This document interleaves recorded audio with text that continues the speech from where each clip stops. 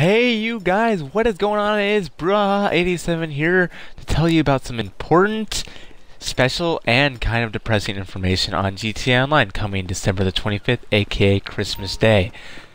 Now, if you do like the video, please leave a like, or leave a comment, or even better, subscribe for more content like this.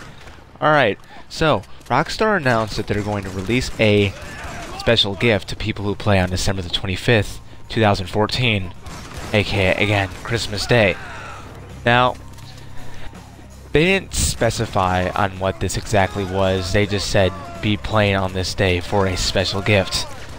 Now, later today, somebody found a red ski mask in the source code that wasn't actually in the DLC itself.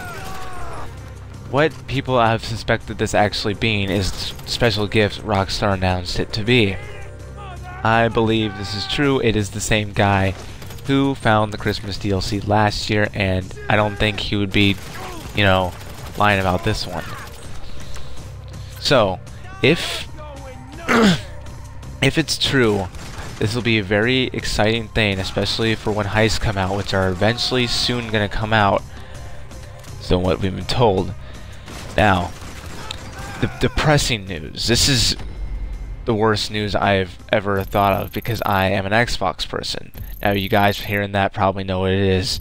The Lizard Squad, a known hacker group, later, earlier a couple weeks, put a tweet out saying that they are going to shut down the Xbox servers forever. Now, I, I don't think they're actually going to shut them down forever but what I think is going to go happen is they're going to shut down that day. And that's just unfair to people like me who play on the Xbox servers and want special content like that.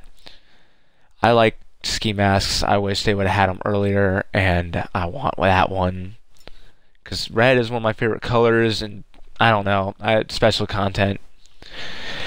So leave a comment on what you think of that. I would love to hear what you guys have to say. And don't forget to leave a like, like I said. And don't forget to subscribe for more content like this, also like I, what I said. And if you enjoy the video, please make sure to watch the rest of my videos. They're pretty funny. I'm kind of a weird person, but you'll get used to me. Alright, I guess I'll see you guys later. Later, bros.